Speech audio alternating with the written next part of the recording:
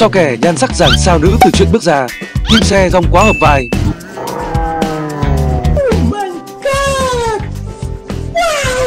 Seo Hyun xinh hơn cả bản gốc 완전입니다. Đối với những bộ truyện tranh quá nổi tiếng, khi chuyển thể thành phim, khán giả thường sẽ nghi ngờ về chất lượng và sợ rằng phim sẽ không được xuất sắc bằng truyện. Tuy nhiên, có nhiều bộ phim chuyển thể lại thành công hơn cả mong đợi. Một trong những lý do đó là nhờ diễn viên được nhận xét quá hợp vai và giống với tưởng tượng của fan nguyên tắc. Cùng tìm hiểu xem những sao nữ nào được khán giả đánh giá là hợp vai đến nỗi như xé chuyện bứt ra nhé. Kim Se-gong. Hẹn hò trốn công sở có thể coi là một trong những tựa phim hot nhất màn ảnh Hàn đầu năm 2022. Mặc dù nội dung không có gì mới mẻ, thậm chí còn chứa đựng nhiều tình tiết phi lý, nhưng bộ phim vẫn làm mưa làm gió nhờ nhan sắc lung linh của dàn diễn viên. Trong đó, nữ chính Kim Se Jong được đánh giá là có ngoại hình tương đồng đến 80% so với nhân vật gốc trong nguyên tắc. Biểu cảm đáng yêu, lanh lợi và nét diễn duyên dáng của Kim Se Jong khiến khán giả ưu ái đặt cho cô những biệt danh mỹ miều như nàng thơ của phim webtoon, mỹ nhân bước ra từ truyện tranh. Ngoài ra, gu thời trang đẳng cấp và khả năng biến hóa liên tục cũng khiến Se Jong được ngợi khen còn hơn cả bản gốc. Sau sự thành công bất ngờ của bộ phim, Kim Se Jong nhận thêm nhiều lời mời đóng phim. Park Min Yeon sau khi bộ phim Thư ký Kim sao thế lên sóng, Park Min Yeon được khán giả nhận xét là vô cùng phù hợp với tưởng tượng của họ với nhân vật nữ chính trong bộ webtoon ra mắt trước đây. Thậm chí, cô còn được ngợi khen là phiên bản người thật của Kim Misu, tên nhân vật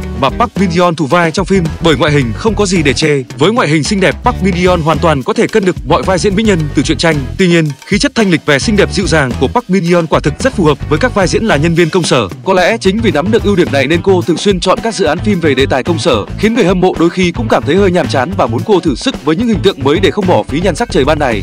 Moon Bộ phim vẻ đẹp đích thực được chuyển thể từ bộ webtoon nổi tiếng cùng tên. Trong phim, nữ diễn viên Moon Gazon thủ vai cô nàng sống ảo Lim Ju Kyung vốn có nhan sắc bình thường nhưng cố tình trang điểm thật lộng lẫy để trở thành hiện tượng mạng. Ban đầu, khi biết Gazon sẽ vào vai nữ chính trong dự án chuyển thể, nhiều khán giả cho rằng cô không hợp vai. Tuy nhiên, sau khi phim lên sóng, đông đảo người xem đều dành cho Moon Gazon lời khen khi thấy màn hóa thân xuất sắc của cô trong phim. Có thể thấy, dù không thực sự giống với những gì nhân vật được miêu tả trong truyện, nhưng vẻ xinh đẹp, trẻ trung và rạng rỡ của Gazon giúp cô xây dựng một nhân vật Ju Kyung vô cùng đặc biệt trên màn ảnh. Kim Hee Sun ngay khi bộ phim ngày mai tung poster các diễn viên bản đầu tiên, khán giả đã phải giật mình vì tất cả các nhân vật đều có tạo hình tương đồng với nhân vật trong truyện. Trong đó, nhân vật chị đại do nữ diễn viên Kim Hee Sun thủ vai có lẽ là nhân vật sở hữu ngoại hình sát với webtoon nhất, từ mái tóc hồng chất chơi đến gu thời trang sang xịn mịn. Tạo hình của Kim Hee Sun khiến người xem vô cùng thích thú. Trong lần comeback với màn ảnh nhỏ này, Kim Hee Sun cũng khiến người hâm mộ phải trầm trồ bởi ngoại hình xinh đẹp ngày càng thăng hạng qua thời gian. Tạo hình trong phim của Kim Hee Sun được đánh giá là sát đến 90% so với nguyên tắc. Điều khác biệt duy nhất đó là phong cách ăn mặc của nàng trưởng phòng trên phim có chút trưởng thành hơn. Đây cũng là điều hợp lý so với tuổi thật của nhân vật.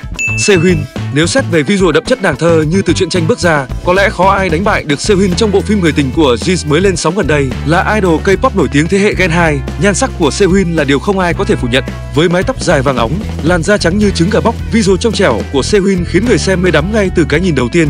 Thậm chí, tạo hình của Sehun trong phim còn được cho là có phần vượt trội hơn cả nguyên tắc. Khuôn mặt xinh đẹp, vóc dáng thon thả cùng diễn xuất chắc tay, Sehun quả thực đã thể hiện vô cùng xuất sắc trong dự án chuyển thể webtoon này. Bằng chứng là rating của bộ phim đang rất khả quan. Có thể thấy dàn sao nữ này này, mỗi người đều có một vẻ đẹp riêng nhưng điểm chung là họ đều vô cùng hợp với tạo hình trong truyện tranh.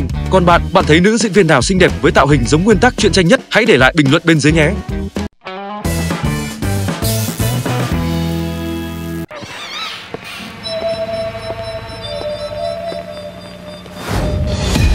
Đăng clip xem đi rồi biết